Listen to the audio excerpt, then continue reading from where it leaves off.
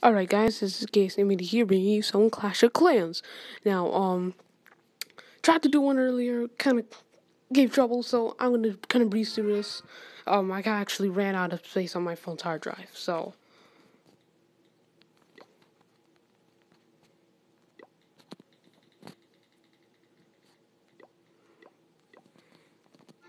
Uh, okay.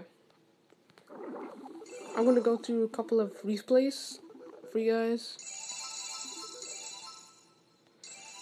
Um, let's get right into it. I'm going to share the first three, or the first two.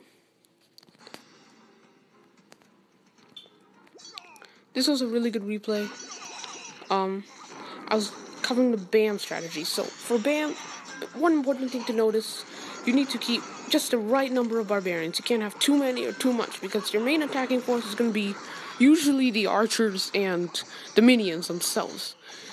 And it's important that you start out in one place, especially where the first air defense is, so you can take everything else up. Because this guy only built one air defense, which was already a good thing.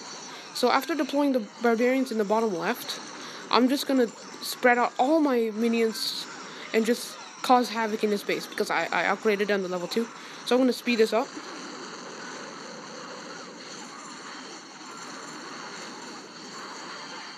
And that's 100%. So some decent loot. And yeah, good trophies. So I'm going to go do another one. Um, this is using Bavarianly creamed creaming strategy. Um, this guy, he had a he didn't have that great. I mean, he had a good base. He had a really good base actually. Uh, I think it was was not maxed out. The defenses were maxed out though. That's actually pretty good. So after triggering off those other traps with my barbarians, I um de started deploying my um, Valkyries in the bottom, and provided support with archers. Um, this is a really good strategy to use. Um, yeah, so I started using bar- barbarians and deploying them all around to give that surround and preventing that mortar over there and the wizard tower from doing too much splash damage. Because you see, he was focused on that Valkyrie. He couldn't have possibly taken down any of my barbarians. So as they break through these first layer of walls, they're gonna be able to reach that wizard tower at least, unless the barbarian king or Valkyries get to it before they do. So I'm gonna fast forward, and that's it. So um that's it for now, guys.